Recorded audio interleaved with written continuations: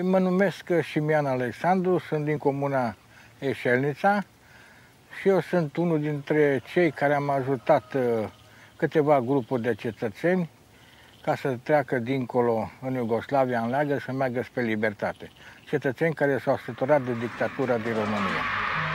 Tovarășe Nicolae Ceaușescu, azi vă aducem flori din patria însorită.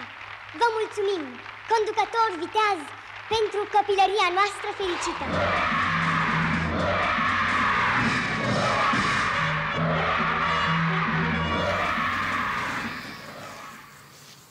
Asta a fost drumul libertății pentru mine.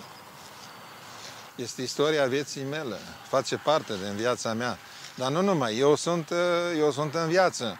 Pe frontiera română-iugoslavă au murit mii de români care sunt înmormântați pe malul sârbesc al Dunării și chiar aici pe o scată în cimitire.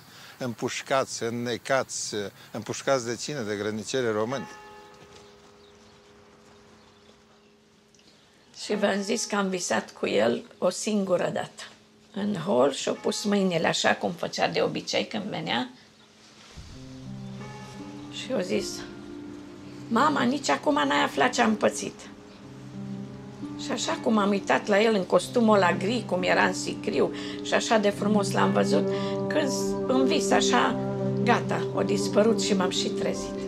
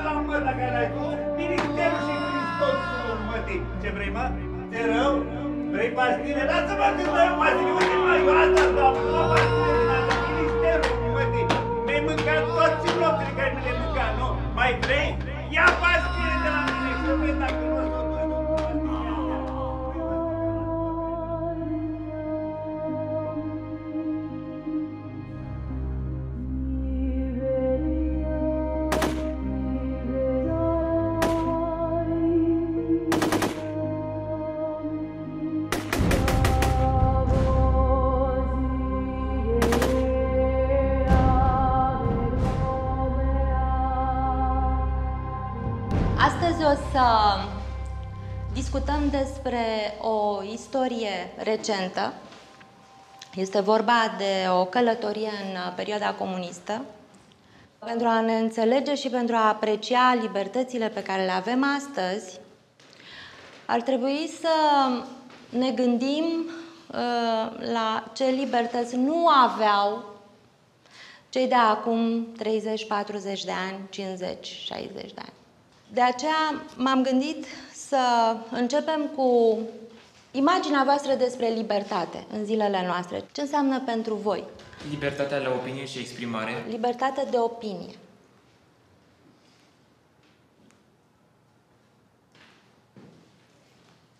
Doar atât?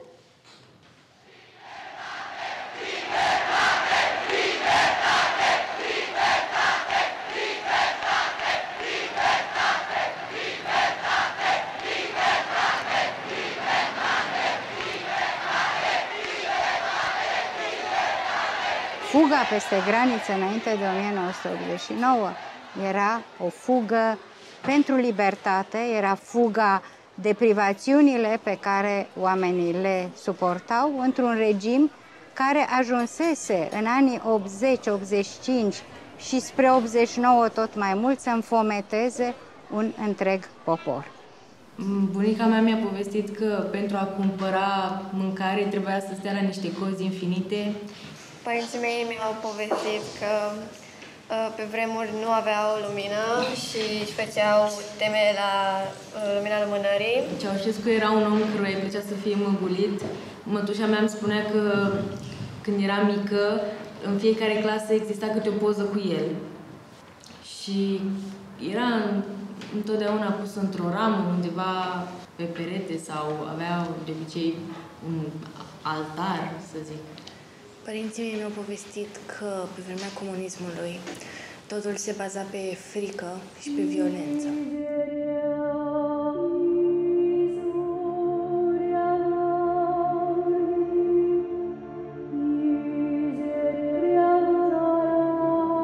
Tinerii care fugeau, fugeau nu neapărat de foame, ci pentru că voiau libertate, voiau să asculte muzica rock, voiau să poarte blugi, vroiau să respire un aer de libertate. În istorie există niște curajoși. Au fost oameni care au încercat să fugă din țară. Au încercat să-și construiască alt destin. Au refuzat să facă parte din istoria asta. Știți ceva despre acești oameni? Mulți își riscau viața și încercau mai ales să trecă prin Serbia, pentru că regimul de acolo, cred că titlul chema pe conducătorul de acolo, nu îi trimitea înapoi în România și unii dintre ei ajungeau în lagăre sărbești, iar în cel din urmă reușeau să ajungă în țări din Occident. În fond, ce făceau oamenii ăștia? Încercau să guste libertatea pe care, de care noi ne bucurăm acum. Circulăm, ne ducem, ne stabilim în alte țări, lucrăm în alte țări, circulăm liber cu buletinul. Deci aici uh, este uh, harta veche a Republicii Socialiste România cu Iugoslavia și aici e chiar unde am trecut noi. Fotografii cu cozi la pâine din perioada când am plecat eu. Zona frontiere am, pe unde am trecut eu, așa arăta câmpul ăla pe unde am trecut. Articolul 245 din codul penal, un cod penal care sigur nu mai este azi în vigoare, incrimina atât trecerea frauduloasă a frontierei cât și tentativa, iar pedeapsa era de la șase luni la trei ani, era o infracțiune contra autorității, autoritatea statului. Din acest motiv, această infracțiune era trecută la infracțiune politică. Dar dumneavoastră de când v-ați ocupat de frontieră, de graniță? M-am ocupat, că noi nu ne ocupam. Dar aveam, uh, se ocupa inspectorul șef. Ăsta era, șeful era și la poliție și la noi. Și atunci pe mine mă lua și făceam, uh, eu scriam bine cu stilou, știi, scriam cu stilou Parker, scriam bine. Și atunci îi făceam toate sintezele alea, mă punea el, hai, răducule, hai cu mine. Eram, eram 30 ceva de ani, eram foarte tânăr. A fost cel mai tânăr șef din țară. La 35 de ani a fost ajung la Timișoara. Și mă luat cu, hai, la grăniceri. Hai. Și îl luam și... Da, da.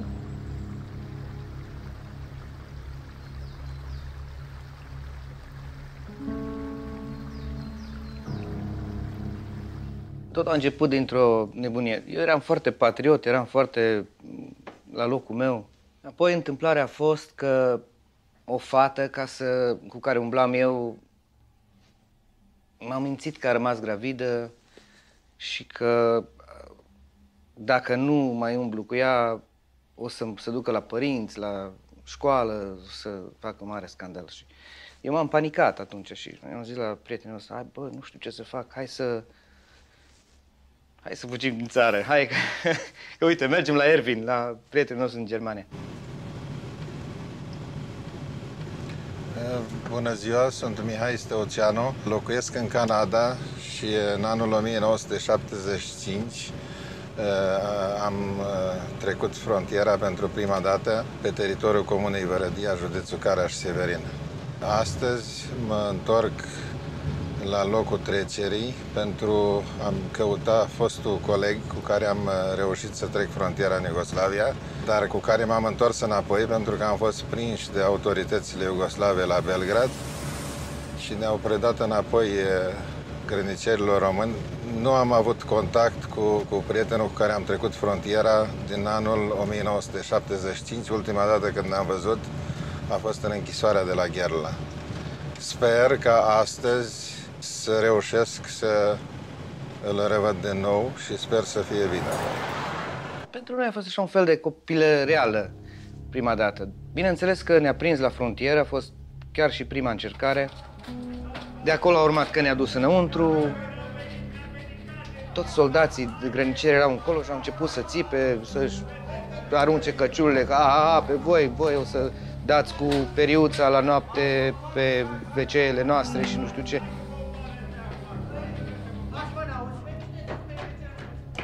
Sus la, ne-au băgat în două birouri separate și era ceva uh, mai în grad uh, omul care a venit la mine. Zice, după ce m-a făcut un timp să aștept acolo, era, era o hartă mare a României, intră înăuntru, zice, știi unde e? Nu, zice, de unde ești? De la Deva. Știi unde ești acum? Uită-te la mine, mă! Aici e Deva și tu ești aici. Ce cauți mă aici? Ce cauți mă aici? Spune și mie. Ha? Uită-te mă la mine, la care să fugi în țară? Pușcăria te mănâncă, mă, bă! Deci așa de tare mă bătut la că la un moment dat am crezut că mor, că fac pe mine, că deci n-am mai, era dezbrăcat, el era călare pe mine, mă prindea de gât și mă dădea cu capul așa și mă călărea așa. Asta era pichetul de grăniceri unde, unde am luat eu uh, crunta bătaie atunci în 79. Pe la geamul ăsta aici era uh, birou unde am fost bătut crunt atunci. Am, m-au dezbrăcat în pielea goală și am crezut că o să mor acolo.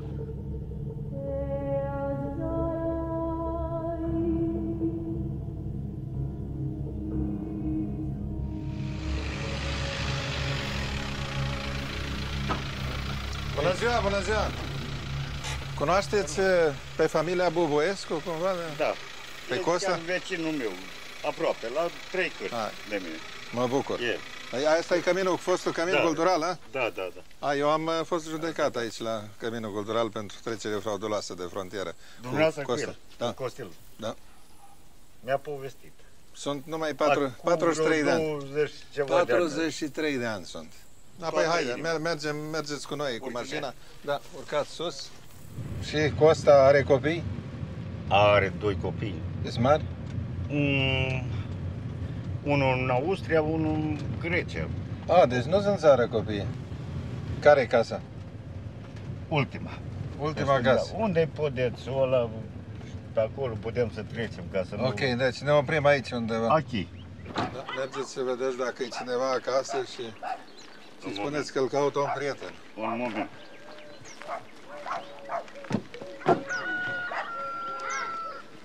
Și să uite, el nu încolo, Costele, uite și uite și Ce faci, Costelă? Îl mai ții minte? Mă cunoști?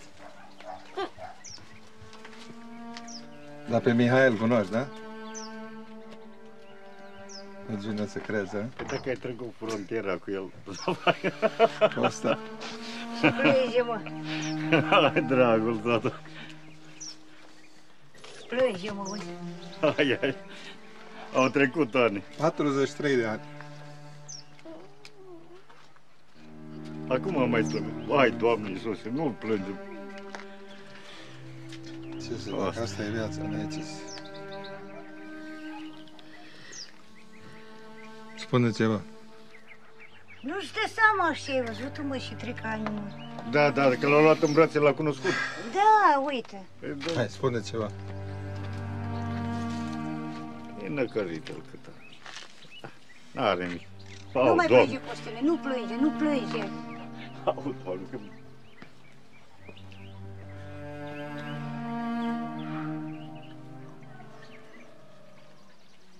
A fost tare. Costel. Ce să zic cu asta?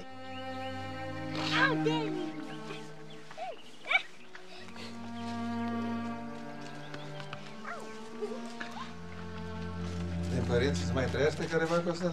Nu. Nici mama, nici tata? În 89 a murit. Dar copiii săi, fata a cui? Fata e nepoata. Nepoată de la... De la, Da, de la, de la fata? Da. Da, câți copii ai? Doi. Are și cu prima muiere, poate o știți pe... Nu știu că eu... Aia vezi. Eu nu m-am întâlnit. Eu l-am lăsat pe el la Gherla.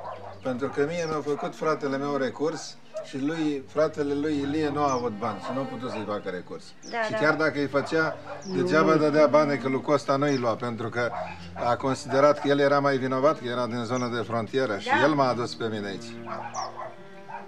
Dar eu n-am mai, n-am mai trecut prin Vărădia Costa, eu am trecut pe la Naideș, să știi. Atunci l-am cunoscut prima dată pe Iacob, care era ofițer de securitate, care se ocupa de treceri de frontieră, de emigrări, de chestii de genul ăsta. Ăla când a intrat în, în sala în care eram eu, a venit la mine și pe neașteptate mi-a tras o palmă, dar așa de tare mi-a tras o palmă cu dreapta lui peste urechea mea stângă, încât n-am mai auzit, a început să-mi ții urechea, plus de asta, încă câteva zile m-am dus să dorm la fratele meu, care când m-a văzut a zis ce s-a întâmplat cu tine, eram tot vânăt și îmi curgea uh, sânge noaptea pe nas. Am luat bătaie de la Stamora Moravița și până la, până la unitatea militară de grănicieri din, uh, din Oravița. Am luat patru puște și picioare de, de, de bocanci la, la, la coastă. Când a pus cu burta în jos într-un imeseu pe amândoi. Unul într-o parte, unul în altă. Și ne-a tras-o până la unitatea militară, e fo- e destul de departe și cum drumurile erau bune ca și astăzi, cum ați văzut, vă dați seama ce înseamnă să stai cu burta pe metal și să mai ieși la coastă. Cred pentru că ați văzut cum sunt oameni. Unii sunt mai violenți, alții sunt foarte violenți, alții extrem de violenți. Și atunci, eu știu, l-ai găsit pe la după ce am mai avut probabil un succes din ăsta și, eu știu, a avut în familie un eveniment, un botez, o căsătorie, o nuntă la țară, la el acolo și nu i-a dat voie pentru că i-a trecut frontiera și după aia l-a prins pe ăsta. La bădă de la Smopidă. Ăsta e adevăr. Era foarte greu de dovedit uh, o asemenea infracțiune de purtare abuzivă sau cercetare abuzivă. Diferența era și de tratament juridic.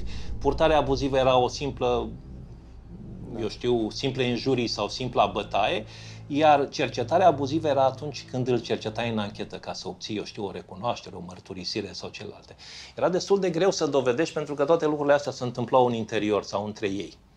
Până la urmă m-au uh, dus la școală, legat de mâini și au făcut un careu în care au dus, au adunat toți uh, elevii uh, și m-au scos acolo ca pe Iisus la răstignire. M- M-au scos acolo legat de mâini, toată școala se uita să mă vadă. Au dat exemplu, au început să vorbească despre cât de rău e dincolo, cât de nu știu ce, că uite elemente ca acesta.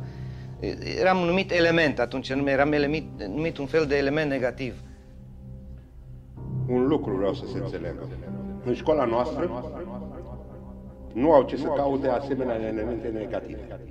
Asemenea derbedei, care sunt o rușine pentru tinerii elevi din țara noastră. Deci de aceea, elevul Pârvaion este exmatriculat din liceul nostru.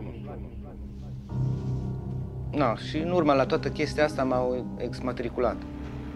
Toți acești uh, temerari care își încercau norocul la granițe erau tratați nu doar în România, ci în toate uh, statele comuniste, drept trădători.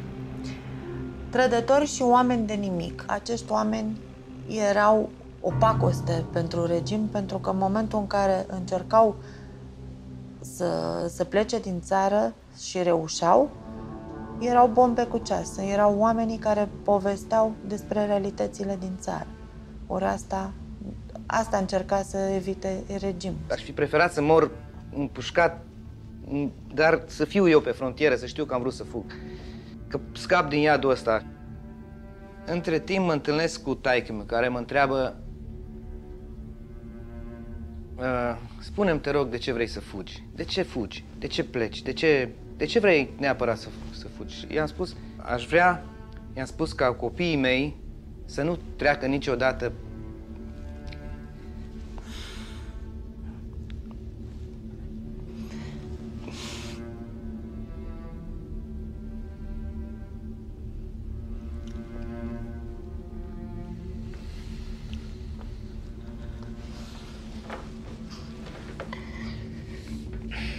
Sorry. Da, asta este. Ne-a făcut, uh, ne-a făcut dosarul, mâine zi, ne-a făcut uh, actele și ne-a spus, ne-a promis clar că ne judecă în public pe la locul trecerii frontierei ca să ne dea exemplu pentru căminul- populație. Da. La căminul cultural. Că mi-ai povestit tu că stai La restul miliției Năravița ne-a adus cu duba la căminul cultural.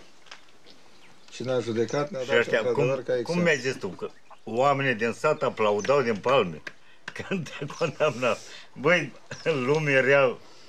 Deci chiar așa s-a întâmplat? Da, da, Exact. asta e realitatea. Hai că eu știu de la Costel, că am lucrat o grămadă de, de ani cu el. Unde stăteau? În fața căminului? Era Da, era plin. A, nu, într-un cămin. Și băteau din palme. sate. Parcă ați fi făcut crime sau aia, că Da, ai vrut mai să rău. treci frontieră. Mai rău ca Mare criminal. lucru. Am gândit la că dacă voi avea copii, să nu treacă prin ce am trecut eu. Deci așa a fost de traumatizant.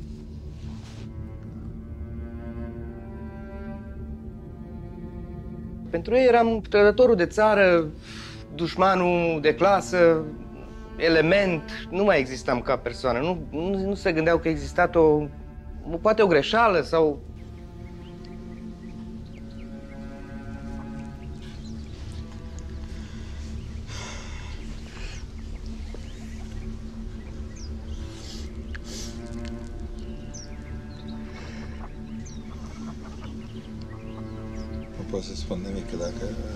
mai tânăr, te-aș ajuta să ieși acum, dar la ce să ieși? Nu mai ai la ce. Nu mai am așa.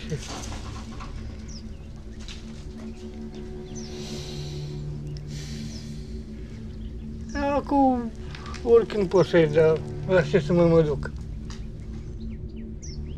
După toate chestiile astea, am venit cu un plan care credeam că nu o să dea greș. Am zis, bă, noi trebuie să evităm orice contact cu, cu localnicii. Am zis că dacă mergem pe creasta munților prin pădure, important este să nu ajungem în zonă de frontieră între oameni. Uite, asta e pașaportul italian, fii atent, cu care am plecat din, din Italia. Uite.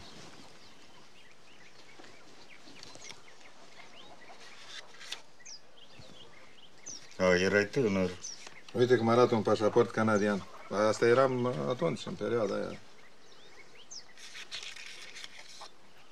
Și am și buletinul românesc, uite. Sunt și cetățean român și canadian. Așa N-am e nicio bun. problemă.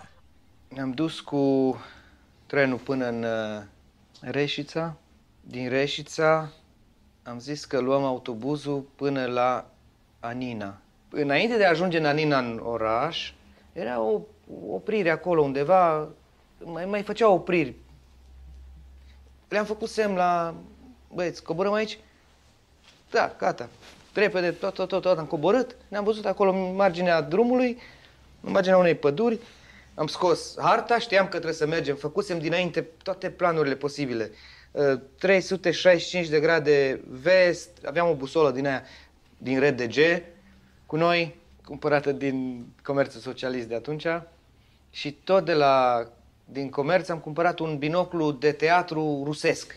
Asta este diferența, se vede clar diferența dintre doi oameni, dintre două vieți diferite care s-au rupt la un moment dat. Toate bune și să ne vedem cu bine, Costa. cu bine. Da, Ok, sănătate și la ție și familie și la toți ai tăi. Ok, la revedere.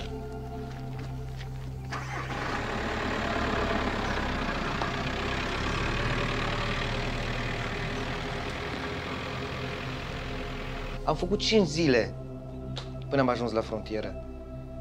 Deci 5 zile am supraviețuit cu ce am putut să cumpărăm din, uh, din uh, Reșița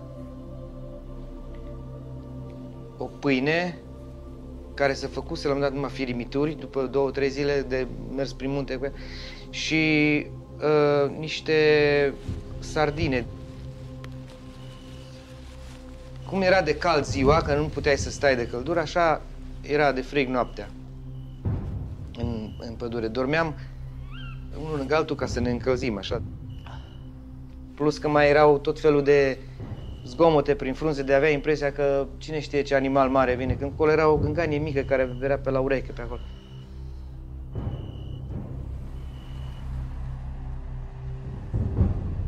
Suntem în localitatea Naideș, județul Caraș-Severin. Nu departe de aici e po- punctul de frontieră Naideș.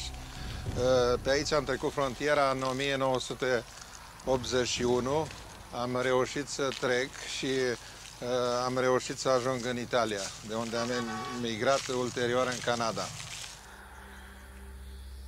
În jurul orei 11 noaptea, porțiunea de dinainte de șosea, cam de la 500 de metri și până, până aproape de, de fâșie am făcut o târâș.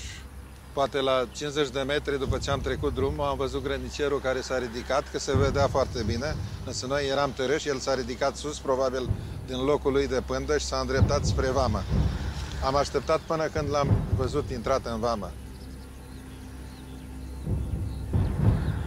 Frica ne-a făcut că ne auzeam inima bătând și aveam impresia că inima face zgomot. Am văzut ceva din depărtare, că ar fi stâlp de înaltă tensiune sau ceva. Am luat, am scos repede binoclu, m-am uitat. Zic, bă, ăștia nu sunt stâlpi de înaltă tensiune, sunt uh, foișoare. Zic, acolo e granița. Zic, dar uh, dacă noi vedem așa de bine cu binoclul ăsta de doi bani de teatru, zic, dai seama că iau binocluri din alea puternice, aia ne văd mult mai repede, trebuie să ne adăpostim undeva repede de tot. Am găsit un pâlc de copaci din ăștia mai mici, ca o insulă așa în mijlocul dealului și ne-am ascuns acolo. Am hotărât să stăm acolo până seara. Și seara când se întunecă să plecăm mai departe, că deja știam că acolo e uh, granița. Erau două garduri de sârmă ghimpată și în față era un colac. Deci era foarte bine protejată. Eu, care am trecut primul și al doilea, uh, ne-am înțeles dinainte că nu stăm la somație dacă ne somează. Iar al treilea a zis că stă la somație, nu vrea să moară pe frontieră. Deci l-am lăsat în urmă, a rămas al treilea. Am trecut gardurile și a rămas în urmă. El a pus picioarele pe sârmele de la gard și le-a rupt. S-au auzit sârmele în urma noastră. Și, și n-ați auzit să fi dat după, alarma? După ce am ajuns dincolo în șosea, am ieșit, după ce am, am ocolit și am ieșit în șoseaua care duce spre Biserica Albă, uh, am văzut uh, de, de trei ori trei lumini care s-au despărțit în trei roșii, aia era semnalul că trei infractori au trecut, pentru că era fâșia, am trecut fâșia și a rămas urme pe arătură. Noi eram deja dincolo, dar ne-au așteptat serbe, că ne-au prins 20 de minute după ce am trecut frontiera. Și nu v-a fost frică că vă dau înapoi sârbii, cum au, ba ați da, mai ne pățit era frică, la... ba da, ne-a fost frică, însă n-am avut ce să facem, asta a fost, asta a fost secretul. Știam că serbii când dădeau, când nu dădeau, nimeni nu știa de ce, care era înțelegerea, nu, nu putea ști nimeni. Deci eram, efectiv, ne-am lăsat duși de, de soartă. Noaptea la 12 ne-am hotărât să plecăm. Coborât de acolo, am trecut pe tot felul de cărări din astea ce mai erau și arătură și am dat de o, o cărare după care se vedea ceva negru, zic, ce dracu fi acolo, știi, un râu, bă, nu ne dea seama, acolo era fâșiaș, de era neagră așa. Am ajuns în marginea ei, era momentele alea de sudoare rece, ai așa o sudoare a morții pe tine, așa o sudoare rece, nu ți-e cald, dar transpiri. Parcă simțeam așa că cineva strigă, stai sau ceva, știi? Stai că trag! Stai mă, nenorocitule! Hai! Hai că trag! Stai! Tu-ți morți, mă, că și de fac! România era o, o pușcărie mare, deci sclavii n-aveau voie să părăsească teritoriul României pentru că așa era. Erau îngrădiți. Eram trei persoane, toate trei am reușit să trecem frontiera, toți trei am ajuns în Canada. Doi e, sunt la Toronto, iar eu trăiesc la Montreal.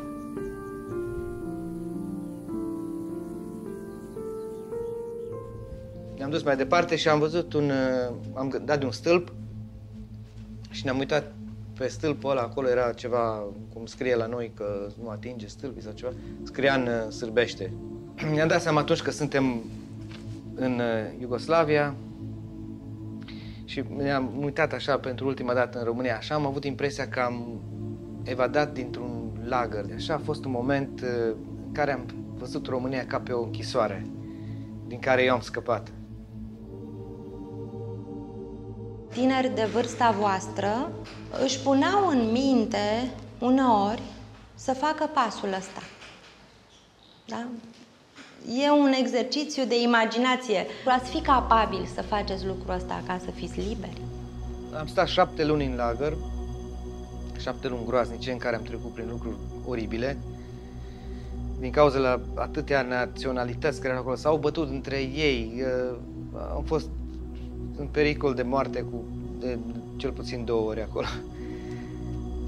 Am supraviețuit și nebunia aia și am fost pus pe un transport plătit de ceva biserică baptiste de prin Filadelfia. Când am ajuns în America, că era o negresă în vârstă, așa cu o voce caldă, groasă. Și la toți îi spunea goodbye, goodbye, goodbye, have a nice day. Și eu când am ajuns în dreptul ei a zis uh, goodbye and good luck. Așa, când mi-a zis, crede-mă că așa mă, cuvântul ăla, and good luck, știi? Când am coborât în uh, Kennedy în aeroport, acolo și am simțit pământul sub picioare, am, am stat și am plâns.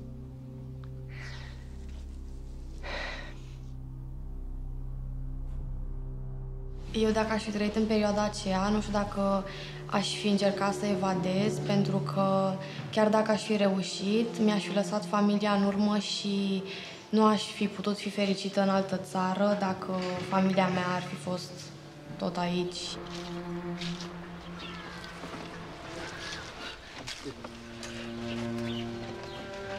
Dacă se întâmpla să mor, mă ducea pe câmp și mă îngropea acolo și da. Nu s-o mai găsit. În timp ce mă băteau, am încercat să fug și când am ajuns aici, aici au descărcat sectorul de alarmă. Aici. Acolo.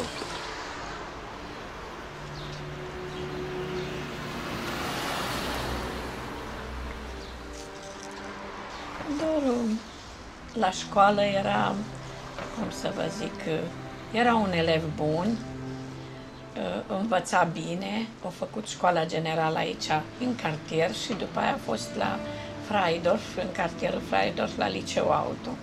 Acolo terminat. Și cel mai mult îi plăcea muzica. Chiar la muzică populară primi premiul întâi când cânta. Mă numesc Boroș Ioan.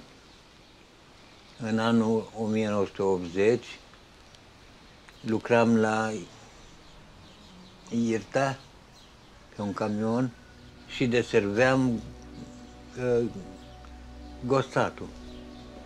Și inclusiv în perioada aceea, căram îngrășăminte de la Tudor Vladimirescu, de la combinatul chimic, la Ias, pe câmp. Și trebuia să avem prelate la mașină. Prelata era la șoferul de la care luasem camionul. Și a trebuit în Comnoșul Mic. O trebuit să merg acolo cu... Și respectivul șofer stătea pe o stradă lăturalnică și cu mașina când am intrat acolo am rămas împotmolit. Și am plecat pe jos, am încuiat mașina și am plecat, am dat să vin spre Jimbolea. Da, atunci s-a întâmplat toată treaba.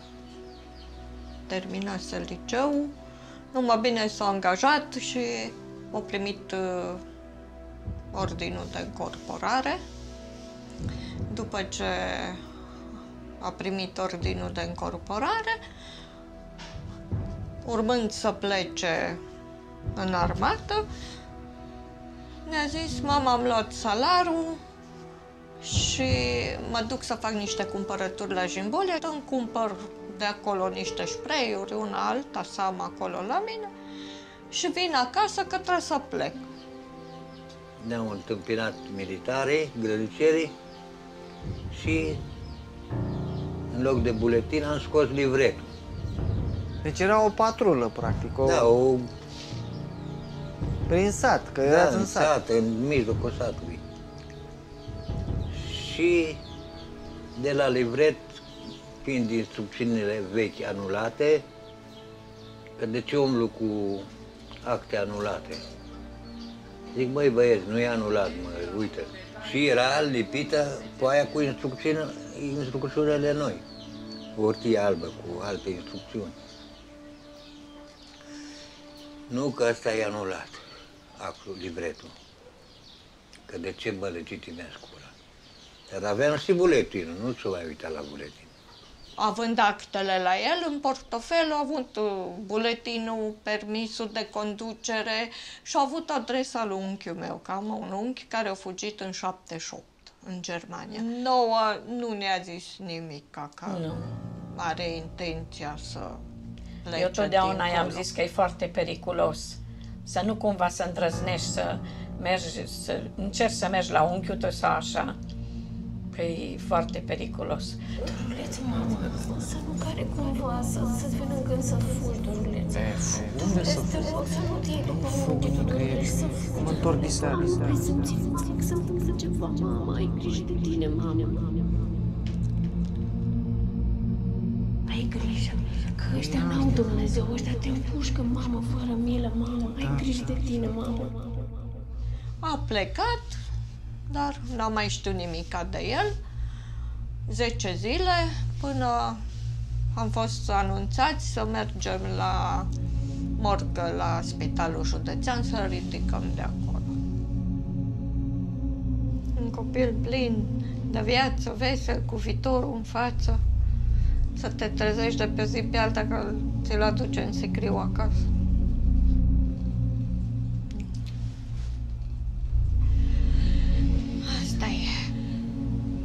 Și ducându-mă spre pichet, a început să mă lovească.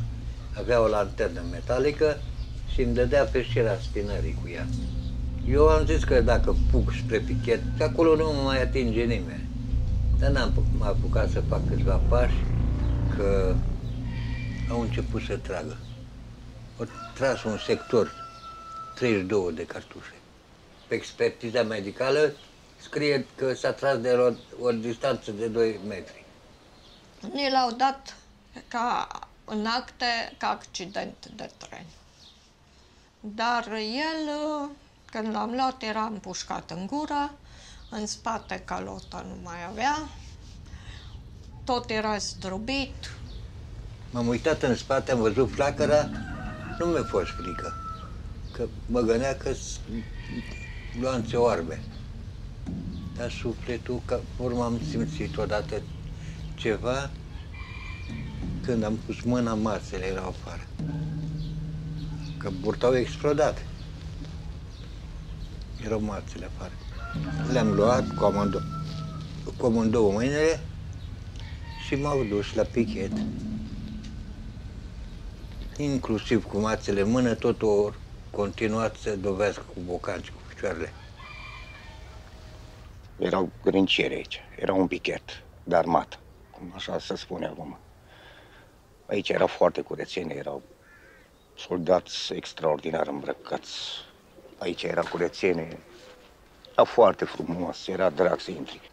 Control, nu puteai să treci frontierele pe aici, că era dezastru. Erau soldați, soldați. Că autobuzele când treceau la Comnoș, mic, de la Gimbăl la Comnoș mic, făceau naveta, soldații înainte de controlau, nu puteai să treci. Dacă nu aveai buletinul, te luau imediat, te duceau la pichet. Eu cred, după gesturile care le făceau, eu zic că 100% erau beți. Că acolo așa obișnuiau grâncerii, umblau din casă în casă și luau câte o sticlă de vin de la oameni. Nu e adevărat că l-a călcat trenul. A fost omorât. Omorât cum? Bătut și după aia la spital a primit un glonte în gură. Ați uh, și auzit varianta asta că a da, fost... am auzit-o, da, am auzit-o. De cine a lucrat acolo. Eu zis că a fost Persoana păzit. respectivă a zis că ofițerul care îl păzea nu mai suporta să-l audă cum se vaită. Era și o țără a fumat și s-a enervat și... Am auzit de multe cazuri cu oameni care au murit pe fâșie. Eu nu știu. Da. Da, unul, spuneți-mi unul undeva, după 85. Poate înainte, abar n-am, dar nu cred. că La înainte. Jimbolia știu că au fost. Da? La Jimbolia? Jimbolia. Nu e adevărat, domnule, am citit și eu ăla, am citit. Uh, nu e adevărat ăla, cu tren, hai să fim serios, domnule, că l-au omorât, mă. M-au pus pe targă, m-au pus în salvare și m-au trimis la Timișoara. Na, la Timișoara m-au trezit dimineață, anestezistul și m-a întrebat dacă știu ce cu mine. Dar eram conștient, conștient. Zic, "Si- sigur că știu. Zice, na, ce nu știi, că ți-am scos un rinichi. Nu ați reușit să puneți mâna pe hârtiile de Că spitalizare din perioada aia. Nu, Nu, că nu după lăsat bine nimeni venise Revoluția și au zis că au luat foc arhiva și că nu mai s-au distrus toate documentele și n-au ce să ne mai arate. Dosarele se clasau din 8 în 8 ani.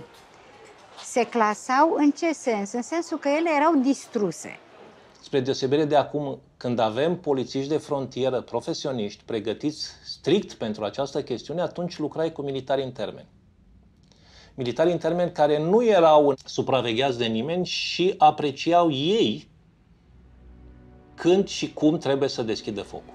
Că eu am încercat pe diferite căi să-mi caut niște drepturi. Pe urmă, primarul mi-a zis, cu secretarul de partid care era atunci, că să-mi văd de treabă, că rămân și fără servici, că lucram la Gostat și lucram numai pe frontieră. Avea voie să mă țină, că eram frontierist. Că am avut probleme cu frontiera. Dar eu nici prin cap să-mi treacă, pentru că puteam oricând ziua la 12 să trec. Nu mă duceam seara. O asistentă care o zis că ea intră în pensie acum și merge la Arad. Și o zis, doamnă, eu mă mut la Arad, am intrat în pensie și am lucrat acolo la spital. Ea mi-a zis. Și copilul a fost uh, împușcat în gură, vă spun eu precis. Și ofițerul care l-a împușcat e vecin cu dumneavoastră. Nu știți despre cine e vorba. Ba știu, dar nu spun. Știți cumva cine au fost cei care au tras? Ați aflat vreodată? Nu. Atâta știu că e de prin Iași. Deci nu erau de aici. Nu, nici vorbă. Ăștia erau aduși de, de prin țară. Animale erau. Știu despre cine e vorba, a făcut și trei ani de închisoare după Revoluție. Și își Și plimbă culmea că nepoții eram- pe drum toată ziua și Eram tot. prieteni cu copiii lui. Da. Are doi băieți și am fost cu ei la școală. Prieteni. Da, Dar l-ați abordat vreodată direct? Să... Eu l-am abordat, dar într-o seară m-am dus în fața casei și el băga mașina uh, în curte și a zis Ce-i, doamnă, ce te uiți așa, ce ai de văzut? Și așa un om dur. Și eu zic că poate că într-o zi o să am ceva de văzut sau de auzit. Și am plecat. Deci nu ați spus niciodată că ați fi auzit că el a... Niciodată nu i-am spus. Nu. Știu acum că s-a mutat de aici și unde stă și ce firmă are și tot. Mm, Dar și acum mai poți să ai frică dacă trăiesc ăștia bătrâni așa ca mine de 70 și de ani, da? Poți să mai ai frică.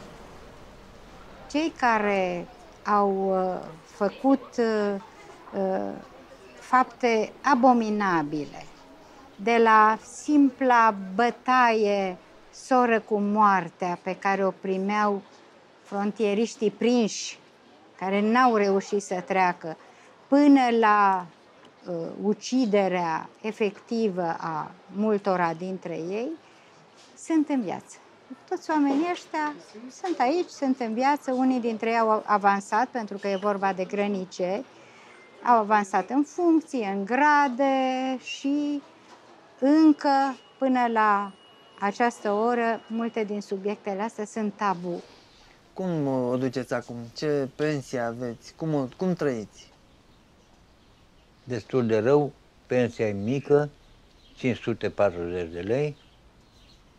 Nu s-a ținut cont de multe treburi, dar cu asta trebuie și pensie de handicap.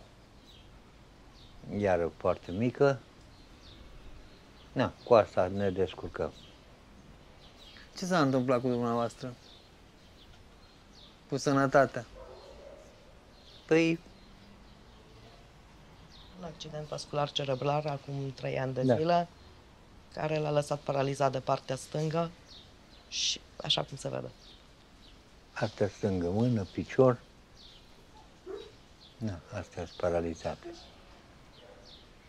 Și tot de aici se trage. Așa ziceți, că tot de aici? Sigur că da. Și au zis și doctor.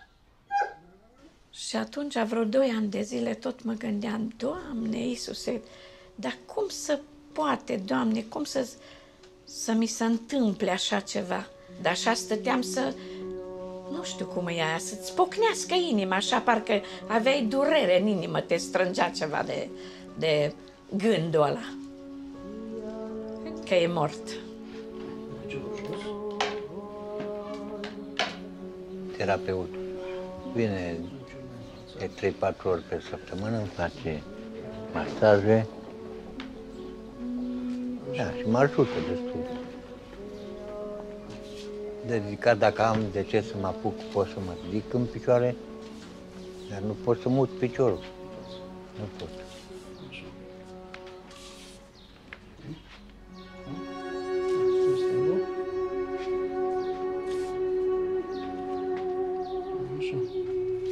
Stângul și stai și pe stângul. Sprijite pe el. Hai, stai pe el, stai pe el.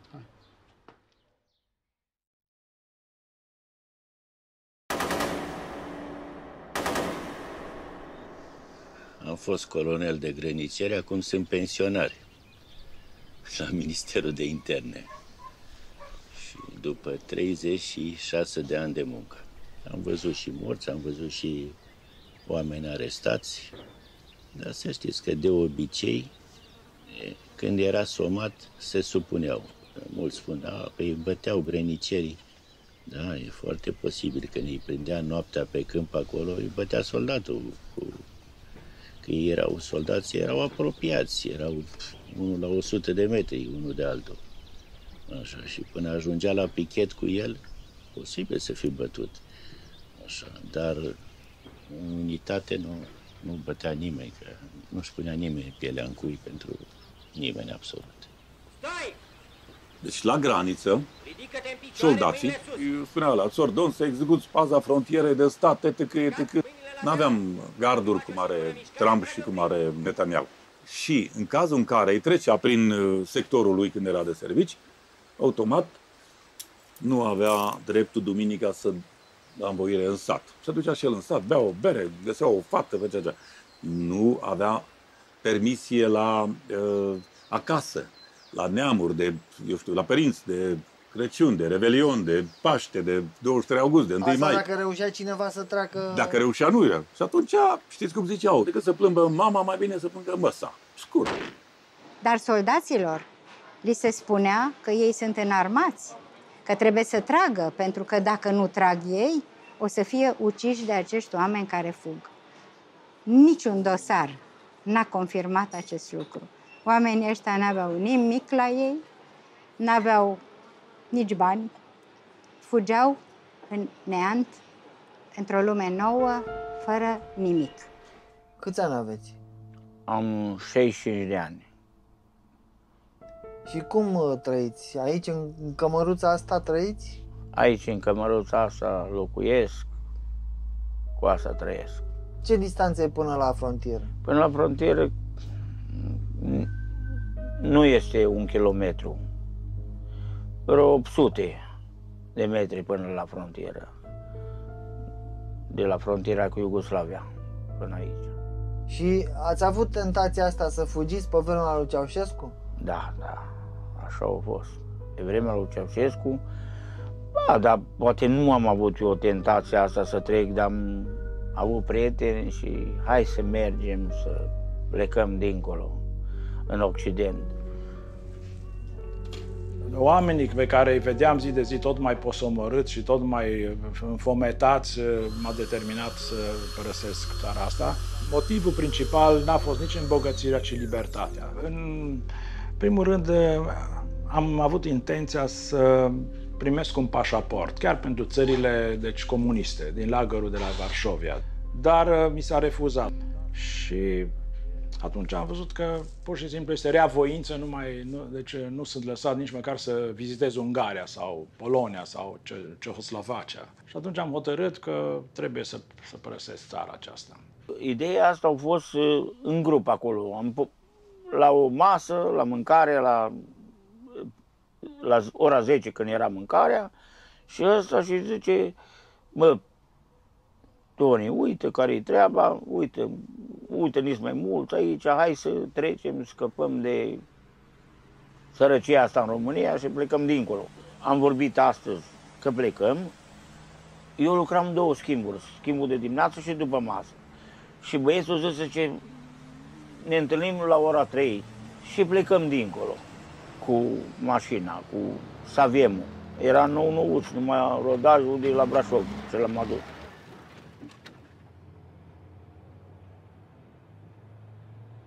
Și așa am hotărât uh, până la urmă să trec uh, frontiera ilegal pe Dunăre, știind bine să not, zic, poate, poate, deci reușesc. Deși auzeam că mulți nu s-au mai întors. Am făcut și not și când eram student la Cluj, la Universitatea de Medicină. Am uh, făcut exerciții de not și în lacul Mărghitaș, care e acolo lângă Anina și este un lac de munte, rece, rece, dar m-am obișnuit. Special pentru asta. Special pentru asta, da, special pentru a trece Dunărea. Pentru că Dunărea e foarte puternică, știam că e foarte aprigă în zona cazanelor, acolo în zona, deci, Șviniței și uh, trebuia să, să fii pregătit totuși.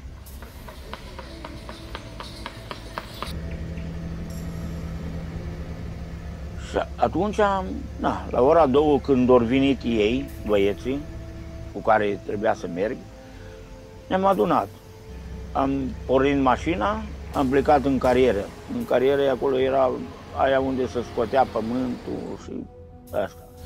Și de acolo am plecat pe alt drum și tot pe drumul de la Gimbolea ce vine la, la Comlos, la Lunga, pe acolo pe asfalt am mers. Ei, dar la, la zootehnie aia, acum nu-i mai zootehnie, acum nu știu ce fermă e acolo. Erau armata, poliția acolo. Eu n-am mai oprit. Am trecut glonț, cu mașina mare.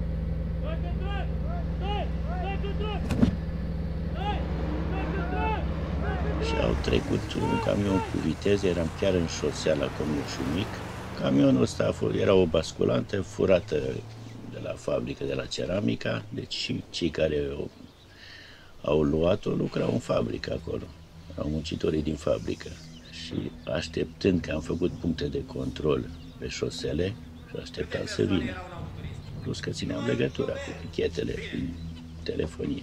Am făcut rost de un permis de pescuit de graniță, pe scurt un PGU, așa se numea PGU, așa pe care pur și simplu l-am falsificat foarte artistic și am pus uh, bețele de pescuit în porbagajul Daciei și am uh, ajuns la Șvinița. Deci la Șvinița unde aveam o cunoștință și ne-a cazat în apartamentul lui și tiptil, tiptil, pe la ora 3 dimineața, noaptea, deci era în întuneric, împreună cu un prieten, uh, am uh, reușit să ne strecurăm deci, în spatele blocului și în bezna care era afară, am intrat în, uh, în Dunăre, deci care era, practic, avea impresia că e o smoală neagră, deci în, în întunericul acela. La primul colț am luat la dreapta și am venit pe aici, prin fundul grădinii, pe la mine. Pe aici. E, aici, unde merge drumul asfaltul încolo, la Teremia, era un șanț, cum v-am spus. Și atunci o, o zburat stiftul la maneta de viteză. N-am mai putut să schimb nicio viteză și am rămas pe loc cu mașina.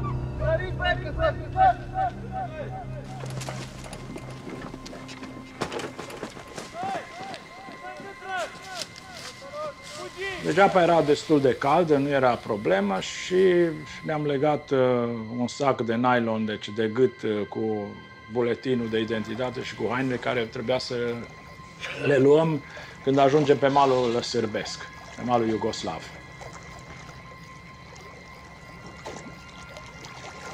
Și a fost dramatic la un moment dat că după atâția ani și acum am resimt emoțiile acelea, a trecut un vas, dar probabil pescăresc și care și-a aruncat reflectorul deasupra apei și atunci m-am scufundat sub apă. Aveam impresia că m-au reparat grănicerii și după aceea când am ieșit am văzut că s-a depărtat de mine. Eram, deci bănuiam că sunt deja trecut de mijlocul Dunării undeva, deci în spațiul, deci în spațiul uh, iugoslav. Cât ați făcut în not până pe partea cealaltă? Oh, cred că a durat, uh, nu mai e greu să, să estimez acum, dar cred că a durat o oră jumate, cred că a durat. Am fugit și trăgeau ca în război. Foc automat, foc cu foc, foc, asta. Trăgeau ca în război.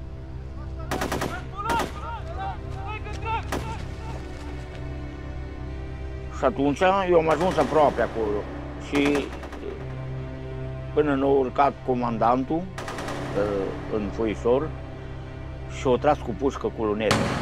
Și atunci m-a luat piciorul drept, o bușcat. Am căzut jos, n-am mai putut eu să fug. Colegii, după mine, nu au mai fugit, s-au predat. Și pe Buha Vasilei l-au pușcat după ce s-a predat. Odată ce te-ai predat, nici în timpul războiului nu mai are voie să te puși.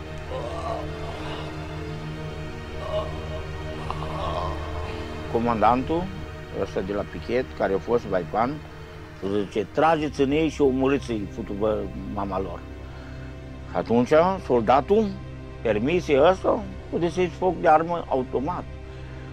Și Buha Vasilei nu mai apucat să, să rostogolească, să se ferească. Le băgat trei cartușe pe cap, rămâne tot de sus. S-a tras și de la pichet, s-a tras și de la punctul de mic trafic de la lung asupra lor. Așa n-aveau unde să, nu mai aveau scăpare. Dar erau vreo șase, șapte, deci nu mai rețin. Atunci a murit unul, Buha. Asta a fost, nimeni nu s-a aștepta la ei, că erau oameni pe care N-ai fi zis vreodată că ăsta vrea să treacă frontiera. Dacă știai că era Cireș sau mă chema pe ăsta, sau Buha, sau ce, poate nu, tră, nu se trăgea, dar nu știai cine o fura camionul, că poate eu știu ce fel de oameni sunt, care n-ai de unde să știi. Și așa, auz cum eram, am luat-o pe jos, ce era. Luam, am luat-o pe jos, am văzut o tablă spre Belgrad și între timp a apărut un, un autobuz cu oameni, cu de a locului de acolo și a oprit și hai să urcăm să, până unde mergeți. Mergem până la Pojarevas. Na, bun. De acolo aveam de gând să mergem mai departe. Și da, deci au oprit uh, în autogară și au intrat doi milițieni, ne-au reperat și ne-au pus cătușele și ne-au dus la închisoarea din Pojarevac. Ajungând în fosta Iugoslavie, erau preluați de sârbi, făceau pușcărie, să zicem, mai întâi cu infractorii de drept comun, apoi erau separați de aceștia, îi prelua în altul comisariat, îi interoga sau îi intervieva, hai să folosim un termen mai moale, și decidea dacă vor fi dați înapoi sau vor merge mai departe în țările în care ar fi dorit să meargă. Aici unde a intrat cartușul nu se vede, dar aici se vede, rupe cartușul. Și în momentul ăla, în momentul ăla eram în 5 minute, tot am, parcă am făcut baie. Eram tot apă când m-a pușcat. Călduri imensă, dureri și asta. Și, și la picior era la fel. La picior era mai grav. Piciorul bălângânea. După ce am terminat cele 20 de zile care, deci de arest, uh, ne-am dus la Padinska Schela, unde am zis că în lagăr avem un regim liber, sau ce, nu era deloc liber, deci lagărul de la Padinska Schela era înconjurat cu o sârmă ghimpată de 4 metri înălțime și nimeni n-avea voie să părăsească lagărul.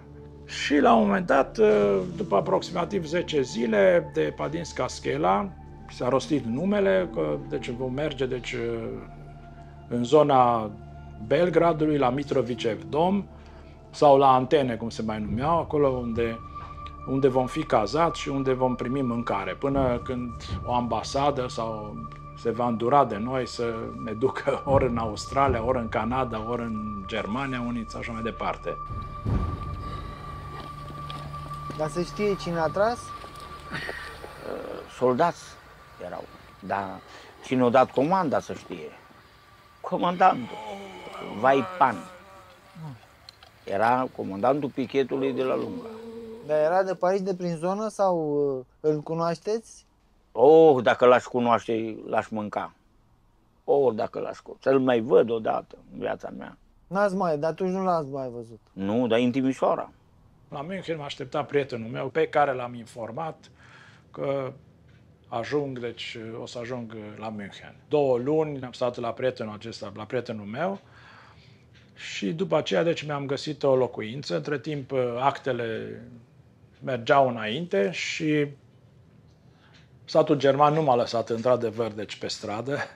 Am primit uh, ajutor social, social Hilfe, la început de vreo 350 de mărci, era ceva, 350 de mărci, poate era ca acum 600 de euro. Și uh, mi s-a spus, uh, dacă îmi găsesc locuință, statul german o să-mi plătească chiria. În fiecare dimineață, la ora 8, 8 jumate, trebuia să mă prezint în Jimbolea la, la poliție, la colonelul Muia și colonelul Belovici. Erau doi colonei de securitate. Și eu trebuia să mă duc în fiecare zi, să mă prezint la ora 8 acolo și să le spun lor dacă mai știu pe cineva care vrea să treacă frontiera, dacă mai știu pe ăsta, mă, omului, unde mă interesează pe mine cine mai vrea să treacă frontiera sau nu. E, aici avea și securitatea uh, sarcii. Adică, ofițerul de informații care răspundea de un, o întreprindere, de o școală, de o cooperativă, unde erau din ăștia, avea sarcina să obțină și el informații, să vadă, domnule, ăsta se îndreaptă, nu se îndreaptă, vrea să treacă din nou, nu vrea să treacă. În urma acestor uh, incidente, nu exista o anchetă care se făcea? Da, da, cum să nu. Păi dacă murea unul de acolo, nu se ridica de acolo până venea procuratura. Se făcea dosarul și pe la tribunal, la Timișoara. Ei ce făceau mai departe, ai treaba lor, dar uh, și noi când trăgea așa și murea câte unul, soldatul care o tras și l s-a omorât pe un individ, el, de obicei îl mutam de la pichet să nu mai aibă, că l-avea pe conștiință, e firesc. Și mutam, ori aduceam la sector aici, la batalion aici, ori la alt batalion, să nu mai simtă copilul apăsarea aia. Erau copii, deci la 19 ani, 20 de ani, erau copii. Stăteau cu frică în pază noaptea cei care aveau uh, terminase licee de astea industriale, noi intrase la facultate, aveau 18 ani. Vă dați seama, 18 ani, copil din, hai să zicem, de oraș, îți dă pușca în spate, 30 de cartușe și te trimite, bă, bate vântul, bate aia, sunt animale, sunt... Uh, uh, te sperie o mare, dar rămite un copil, știți? Deci nu e chiar așa de simplu să faci armata la grăniceri, să fie clar. Erau aduși întotdeauna soldați din alte zone. De exemplu, în Banat erau foarte adesea aduși soldați din Moldova uh, sau eventual din Sud, din județele sudice. Era nevoie pentru că ei nu știau despre ce e vorba, cum e treaba aici. Erau foarte ușor de manipulat și li se putea inocula ideea că sunt în primejdie. Asta era cheia. Li se spunea, atenție, ăștia toți sunt înarmați, o să mori dacă tu nu tragi. Credeau. De unde să știe? Erau niște puști, niște copii de 18 ani. De unde să știe care este adevărul? Deci toți șefii de post care au fost de-a lungul clisurii Dunării până la Orșa, nu știu ce, toți au bătut. Au bătut cu nesimțire. Soldații care erau aduși din uh, Moldova, toți au fost instruiți să bată, deci toți. Toți care își mănâncă niște pensii destul de substanțiale, acum au fost starturii, deci frontieriștilor.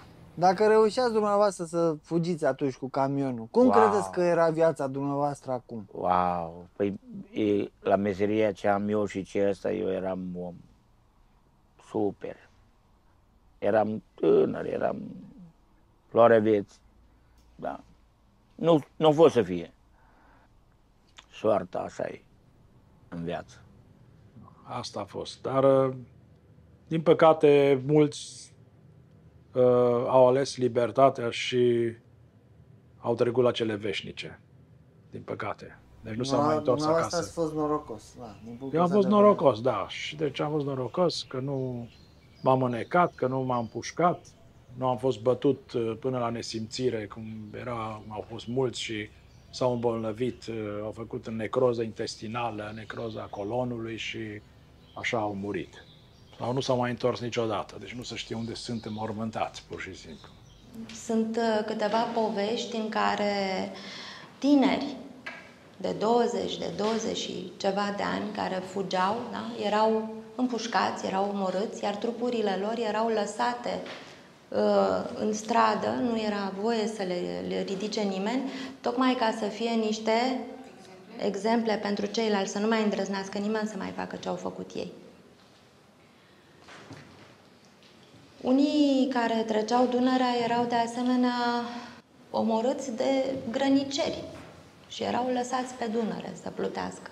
Că după ce s-a făcut porțile, hidrocentrala de la porțile de fier, curentul a schimbat direcția și împingea în general toate obiectele, deci cadavrele, către malul Iugoslav. Prin 87-88, autoritățile române nu mai voiau să preia aceste corpuri. Nu voiau să le preia. Spuneau, nu sunt de la noi, da, este protocol, dar nu ne puteți dovedi că sunt români, așadar faceți cu ei ce vreți. Și atunci s-au născut acele colțuri de cimitir din satele de pe Dunăre, unde sârbii îi îngropau pe ai noștri cu o cruce fără nume, pentru că românii nu mai voiau să le preia, cum se știe, nu mai voiau să-și încarce statisticile cu noi și noi fugari, pentru că le dăuna la dosar. Aici, asta tot a fost aici, tot îngropați români. Fără popă, fără nimic de acum. Cum i-a duce, a săpat ăla și i-a băgat acolo și a tras pământ peste ei și gata. Cum vă numiți? Cine sunteți? Miuțici, Dimitrie. Da, din Novi Sip. Novi Sip este un uh, sat chiar lângă frontieră. Aici, aici la, la, la Porțul Gefier, aici nu e doi, un kilometru este de la Porțul Gefier până aici. A, da, a, da. Și ce ați lucrat? Am fost în pază pe pod. Grănicer? Grănicer. De partea sârbă? Da, acum, da, da. Și am văzut cum i-a scos pe ai necați, care a fost dar români ce a fost ăla, și aici i-a dus și i-a îngropat ăla, la Timicir aici. Am fost și noaptea, dar și ziua, cum i-a scos cu graiperul ăla, ce scoate gunoaie, da, și îi pune la mă, ăla, în sânducul ăla, cum, cum se spune, să crău, a da acum, aici aia, da. A venit și doctorul de la noi, de la Serbia, să vadă de unde este, cum este, 75 sunt cu barca pe, pe Dunăre, dar pe lângă Dunăre trebuie să și am văzut și am văzut multe. Au fost mulți, mulți români s-a necat, s-a...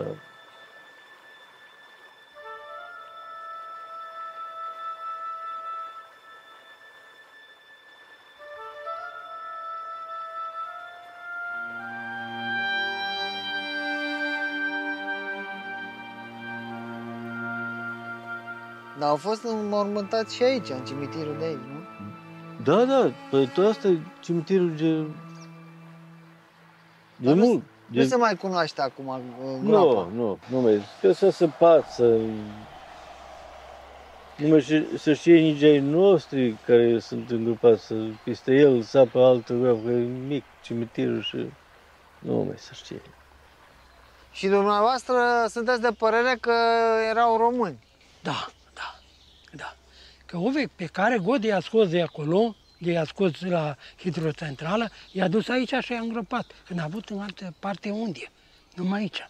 Că mulți i-a, i-a prins atunci, ăla care a vrut să fugă cu, cu Ceaușescu ăla. I-a omorât pe, pe Dunăre și gata. Erau identificați ca fiind uh, cetățeni români după niște etichete de la slip sau uh, uh, haine, alte haine pe care le aveau asupra lor. Unii dintre ei aveau și documente, dar cei care aveau documente erau mult mai ușor raportați autorităților române. Odată eu cu precii mei ce am pescuit împreună, mergem, cum se cheamă, dacă știți, pescuit la clonc. Și să auge cineva de parce, ajută, ajută. Măi, unul noată acolo, pe jumătate Dunării. La ziua? Ziua, e ora 12 El nu mai pucea. Dar el a avut numai cauciucul de la bicicletă. De două ori așa, pe lângă. Și nu, nu ținea aia, dar el era așa, cum se spune, țapăn, numai nu are condiție, cum se spune. Dar acolo e Dunăre largă, 3 km și n-a putut să țină. Și deci nu e să neca, sigur să neca.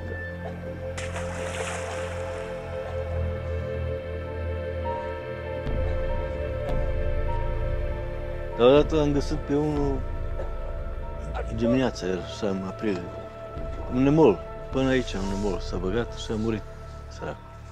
N-a putut să iasă.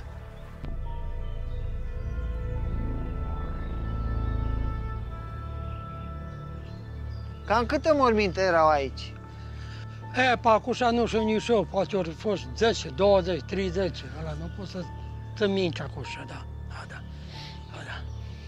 Aici, până, până aici așa a fost, da, da. Aici, de exemplu, mi se pare destul de lată Dunărea. Pe aici, de exemplu, să... 1440 de metri. Atât are aici. Mm. Pe aici nu se putea trece not. Bă, să, să, să trecea și pe ce? Eu nu cred că este loc unde nu se trecea. Mulți, mulți s-a trecut și mulți s-a pierdut cap. În aproape toate cimitirele din uh, satele de la graniță au existat români care au fost înmormântați, uh, au existat niște cruci pe care nu erau nume, scria doar uh, neidentificat. E impresionant să știi că Acolo au fost îngropați niște oameni de care nu s-a interesat nimeni atâta amar de ani. Asta este locul pe unde am fugit din, din țară. Pe aici am venit cu unghițele, ci că mergeam la, la pescuit. Noi eram cu gândul la, la Serbia, să ajungem cu bine în Serbia. Era aproximativ ora 11 când am venit încoace.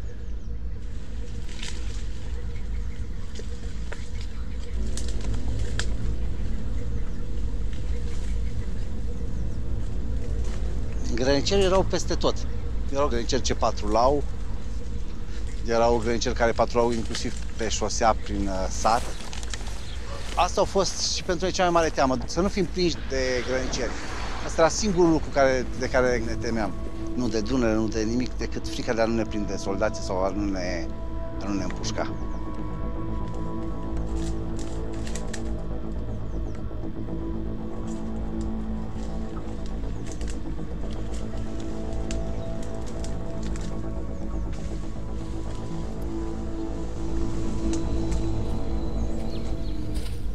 Mă numesc Șimian Alexandru, sunt din comuna Eșelnița și eu sunt unul dintre cei care am ajutat uh, câteva grupuri de cetățeni ca să treacă dincolo în Iugoslavia, în leagă, să meargă spre libertate. Cetățeni care s-au săturat de dictatura din România. Aici mă întâlneam cu grupurile respective și de aici parcurgeam distanța până la Dunăre, de unde îi ajutam ca să treacă dincolo în Iugoslavia.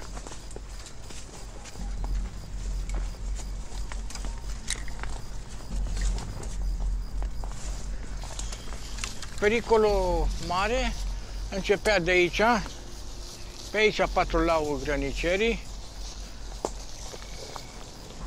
Mergeam, cât mergeam, stăteam pe loc, ascultam, iar mai mergeam o porțiune de teren, iar ascultam și tot așa până când ajungeam jos la, la apă, la Dunăre.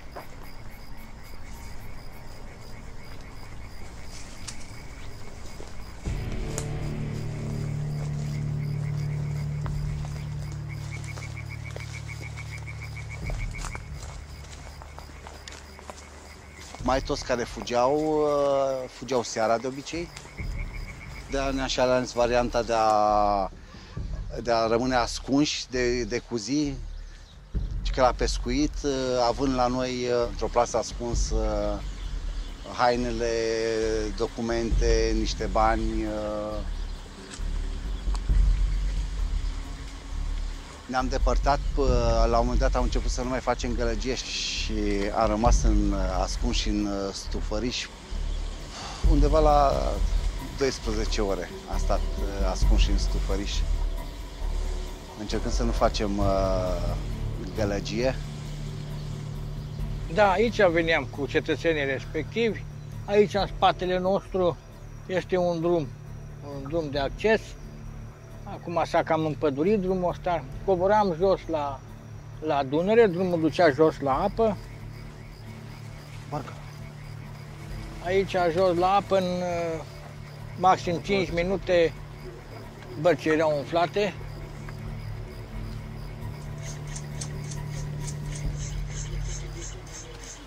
Se urca în barcă, ne dădeam mâna unii cu ceilalți, Dumnezeu să ne ajute să fie cu noi și ei se duceau dincolo.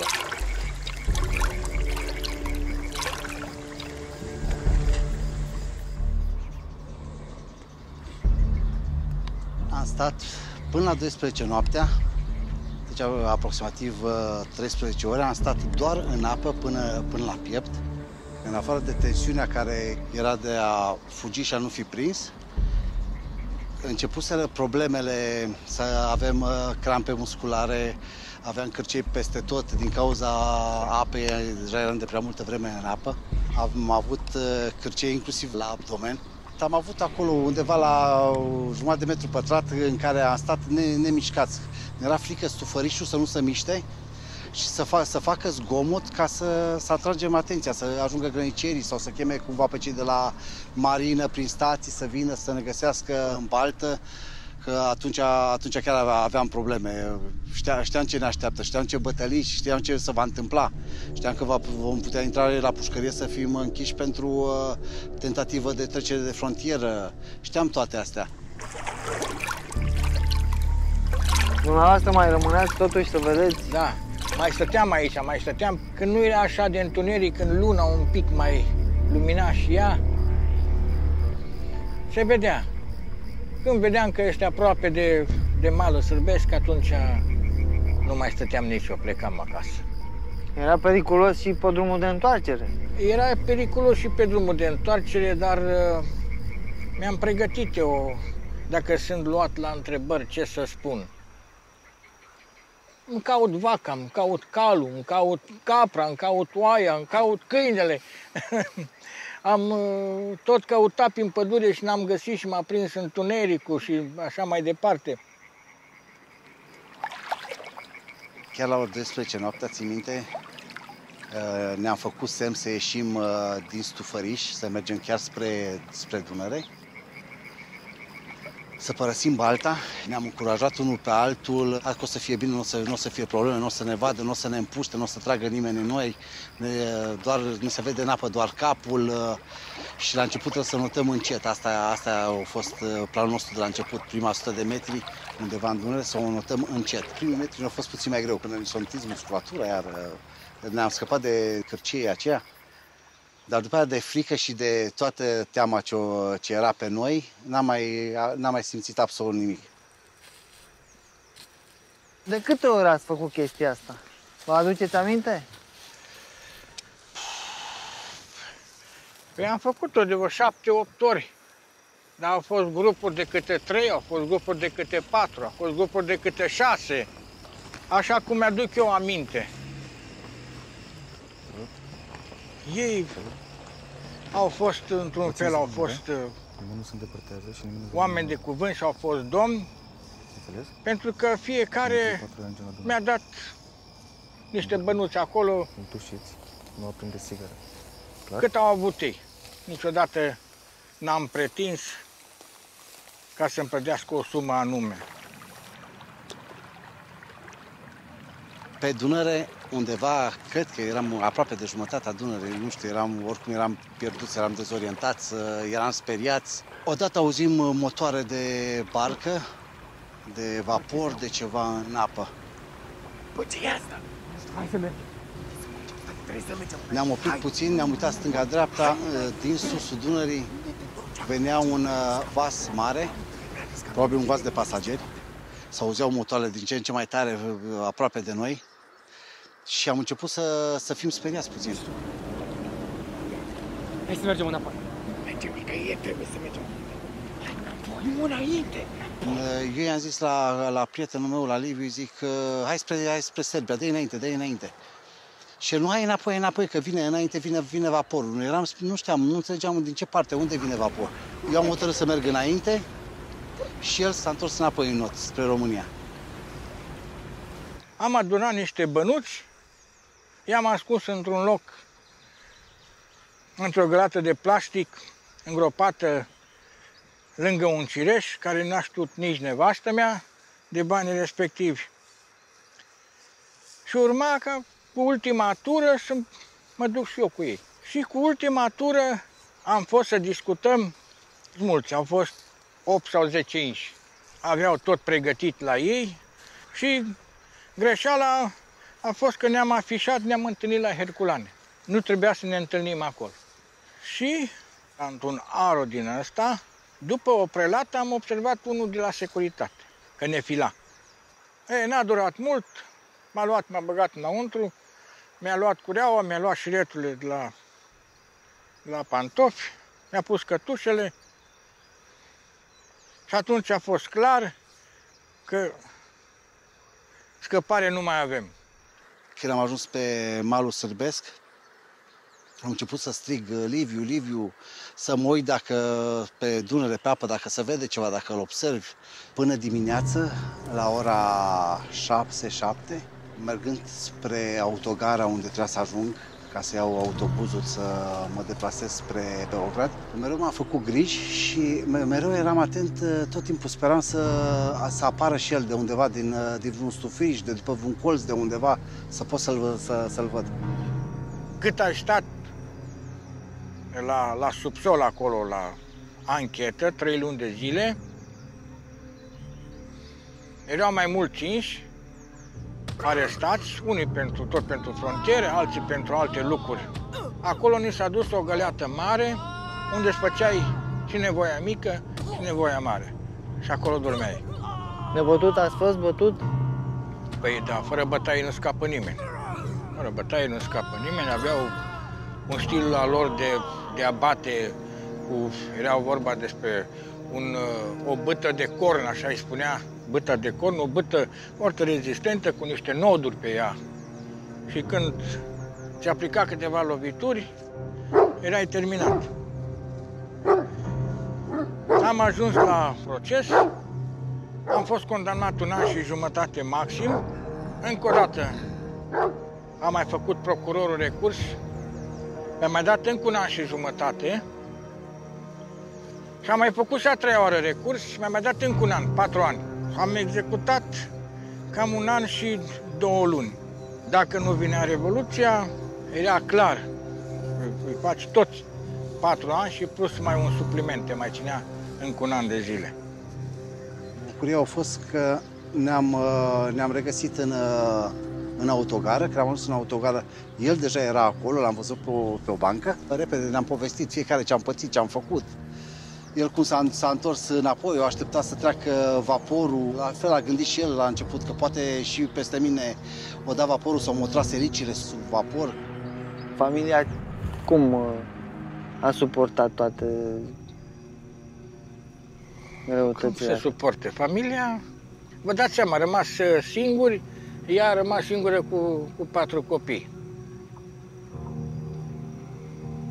Aveam uh, frate, frate lângă mine, aveam cumnată lângă mine. Nu, nu mai erau atunci uh, frate și cumnată, nu mai. Nu i-a dat nimic absolut. Nu i-a aruncat nici măcar o bucată de lemn peste gard. Am tot încercat să emigrez în America, îmi doream mult de tot America, Statele Unite. Am fost acceptat de Australia și de Canada, dar uh, am refuzat. Și uh, întâmplarea a făcut să rămân uh, definitiv uh, în perioada aceea în Austria și am stat în Austria aproximativ 10 ani. Cum e să fii soție de călăuză? Oh, foarte greu. foarte greu, că treci prin atâtea greutăți. Stres, teroare. Dar dumneavoastră a știut vreodată ce face el? Păi nu știam. Dar atunci când lipsea nopțile de acasă și făcea lucrul ăsta, ce, Păi, ce, ce gândeați? Mă gândeam că era funcționar în oraș la drumuri și poduri și spunea că e normator. Adică normator era. Și spunea că a avut mult de lucru, să încheie pe acolo normele, nu știu ce, la muncitori. Și mă gândeam că e adevărat că are mult de lucru la servici. Așa ziceați? da. Așa ziceați? Păi, da, trebuia să găsesc ceva. Da, într-adevăr, lucra atunci ca eram, normator lucram și- ca normator la drumuri și poduri. Asta era o scuză, că am mai stat până târziu. Tatăl meu a fost uh, aproape un an de zile chemat la miliție, o dată sau de două ori pe lună, pentru a da tot felul de declarații legate de fuga mea. Au fost uh, supravegheat într-un fel uh, de anumite persoane, alții fiind chiar uh, colegi de serviciu care mai dădeau în primire, cum era atunci la miliție sau la securitate. Deci atunci când l-a arestat, da, imediat l-a arestat pe el, a plecat la Severin, de la Severin am înțeles că la Herculane a fost arestat. Imediat a venit uh, toată securitatea în curte peste mine. De atunci a început coșmarul. Pe fiecare zi mă trezeam cu două, trei mașini de securitate la poartă, intrau peste mine, nu strigau, mă trezeam cu ei în casă. Copiii, bineînțeles, erau mici, cel mai mic avea atunci 8 luni. Eram pătuți. Copiii începeau să țipe, nu interesau. Cei care au încercat de mai multe ori, au fost prinși, au fost băgați la pușcărie, au suferit mai mult decât pedepsele prevăzute de lege. De ce? Pentru că familiile lor, soția sau frații își pierdeau locul de muncă, erau urmăriți. Ați început să-l vizitați? Da. Și am început să-l vizitez, să-i duc și o mâncare ce avea dreptul și am încercat să-i duc vitamine. Vitamine, că spunea că nu doarme. Și mi le refuzau. Dar v-am mai spus ceva dânsul atunci. Da, mi-a spus la cireș. Vezi la cireș. Dar eu nu-mi dădeam seama. Deci am căutat la un cireș care îl avem aici aproape lângă masă. Și zic, nu știam care cireș, că avea mai mult cireș în grădină. Și am căutat la cireșul ăla, nu era nimic. Eram dezamăgită total. Zic, cine știe ce vrea să spună. Și după aia la alt cireș, și acolo am dat și-o de niște bănuți care pusese și bine și pe ei am găsit, nu știam unde să-i țin. Eram stresată în ultimul hal. Să-i țin în casă, vine iar peste mine, îmi găsesc. Nu știam. Nu știu. A fost greu, foarte greu. Au prins bine totuși. la Ne-au, momentul ăla. deci ne-au prins bine că puteam să merg la el cu pachet și să întrețin copiii casă. Când te-ai gândit să revină tot în țară? Nu m-am gândit să revin de tot în, în țară, dar în schimb, a- parcă așa a fost, așa a fost făcut cu mai un prieten. Ne-am deschis uh, o televiziune prin uh, cablu la noi în uh, localitate. Între timp am mai deschis uh, un local și o sală de sport. Și ușor, ușor, parcă fără voia mea, am revenit încet în țară și începuse să-mi fie parcă mai greu să mă întorc înapoi în, în Austria. Imediat după Revoluție mi-am făcut pașaport și uh, am fost uh, pornit ca să plec de aici, să nu mai... Dar pe urmă, cum să pleci? Cum să pleci că în urma ta mai erau patru copii care erau minori. Ce să fac? Să-i las singuri, fără protecție, fără ajutor? Și am renunțat. Asta a fost. Pe urma ani au trecut, de la 30 și ceva de ani am ajuns la 40 și ceva de ani și am considerat că nu mai are niciun rost. N-ați ieșit niciodată din țară? Niciodată n-am ieșit din țară. Adică dumneavoastră ați ajutat atâția oameni Da. să, să fugă și n-ați, n-ați văzut nimic. N-am ieșit doar niciodată din țară. America este aici unde sunt acum. Germania este tot la fel, Australia este tot la fel aici. Și aici este și aur și petrol, avem și libertate.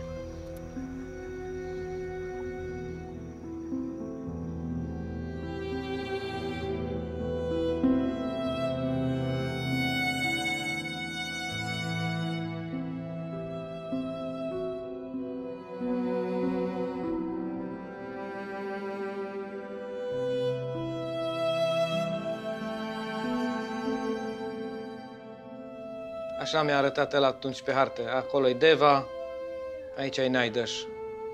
Ce dracu cauți tu de la Deva la Naidăș? Să-ți vezi prietenul? Nu cred. Așa a fost. Crunt. Acum e diferit. Băieții, copiii mei sunt lângă mine, Adrian mă vizitează din America la fiecare 3-4 ani când poate. Fetele mele, mai Jessica și Rebecca, soția mea Anca. Am stat în America 20 de ani. Dar de ce te-ai întors totuși, după 20 de ani? M-am întors pentru că am considerat că de acum pot fi liber în țara mea. Eu iubeam țara asta, iubeam oamenii, iubeam locurile, dar uh, uram regimul, uram opresia pe care eu o simțeam. Noi încercăm să arătăm o filă de istorie care lipsește din manual. Se încearcă oarecum uh, minimalizarea fenomenului prin faptul că ah, erau câteva cazuri rezlețe, dar avem dosar din anul 1982 care se ducea spre cabinetul 1 și cabinetul 2 cu evenimente la frontieră în fiecare zi. Frontiera era cap de listă pentru ambii Mi-am dat seama că istoricii nu se vor ocupa de acest fenomen pentru că el pare minor pentru un istoric care vrea să cerceteze fenomene mai ample, uh, lucruri uh, mult mai adânci. Totuși eu cred că acest fenomen spune ceva despre închisoarea în care noi am trăit, în- într-un regim opresiv, într-un regim dictatorial. Crezi că e util să recuperăm? Folosește la ceva să aducem uh, în, în atenția oamenilor istoria asta, bucățica asta de istorie până la urmă? Da, este, după părerea mea, foarte important. De ce? Deoarece noi în ziua de azi uh, vedem uh, răul și situa- o situație grea ca fiind, nu știu, ceva în adevăratul sens banal. Și într-un fel ne învață că să nu mai fim chiar așa, să nu ne mai plângem atât de mult. În 1989, într-un singur an, au fost oficial înregistrate aproximativ 50.000 de tentative de trecere, dintre care 12.000 de inculpări. Dacă ne gândim că au existat 50.000 de oameni care au încercat să treacă ilegal frontiera într-un singur an, ia să punem cap la cap din 48 până în 89 să ne dăm seama cam despre ce cifre vorbim. Am revenit uh, în orașul natal, chiar aici m-am născut, chiar în această cameră unde filmăm acum m-am născut, să spun așa. Și între timp am mai revăzut uh, orașul Ingolstadt, am, am revăzut Germania. Uh, viața din Germania și cred că a rămas uh, treaba asta, și acum uh, este o viață fadă. La un moment dat uh, aveam impresia că sunt un robot și am o cheie în spate și îmi, îmi trage, îmi rotește cineva tot timpul acea cheie, acel arc. Vedeam că după ora 6, 6 seara, 7, nu mai era nimeni pe stradă. Toți se duceau la culcare, deci ca la o comandă. Bun. Să trăi, șeful. Bun. Bun, bun să trăiți. Bună seara! Seara, să trăiți. Agent șef ajung Haret. Mihai Steuțeanu, cetățean canadian și român. Pe aici am trecut Pare frontiera. bine. Poftiți! Uh, punctul Naideș. E punct de mic trafic. Ce vă interesează? Ce anume vă interesează? Vreau să vedem borna. Că dacă nu se poate vedea... Bornele. Că sunt uh, două. Da, bornele. Când ați trecut? Ei, când... Uh... În 1981. A, nici nu eram născut atunci. Și am mai trecut o dată pe la Vărădia, în 1975. M-au prins sârbii și m-au dat înapoi. Și am făcut uh, mușcărie la Gherla. Deci cine trecea, trecea. Așa e. Sau murea. Că foarte mulți au murit, împuș- au fost împușcați și au murit. Care vorbi Dunărea. Da, dacă ar vorbi Dunărea, așa este. Da, sunt cimitirele dincolo, sunt, sunt pline de români. Ar trebui să vorbească, cred că, cei care ar trebui, dar nu vorbesc. Oamenii sunt mult mai reticenți, le este teamă, nu mai vor să vorbească, și-au pierdut speranța, și-au pierdut încrederea că ceva se va schimba.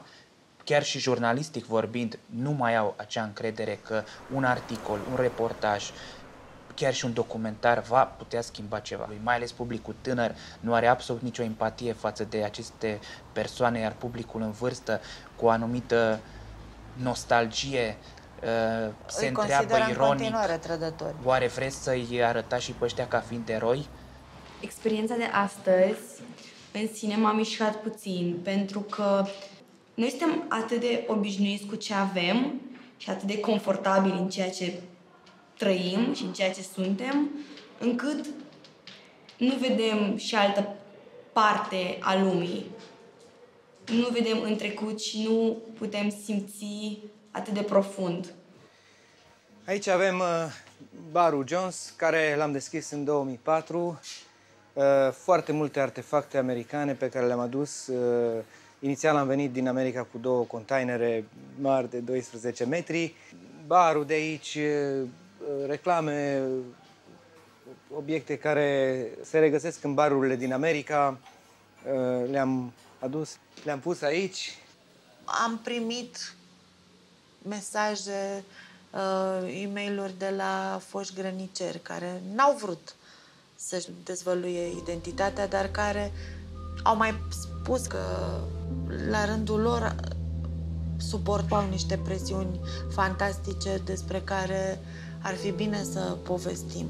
Pentru că nu toți au fost niște brute, nu toți au vrut să fie niște brute și să, să comită crime și să comită abuzuri, dar mulți au fost obligați să facă treaba asta.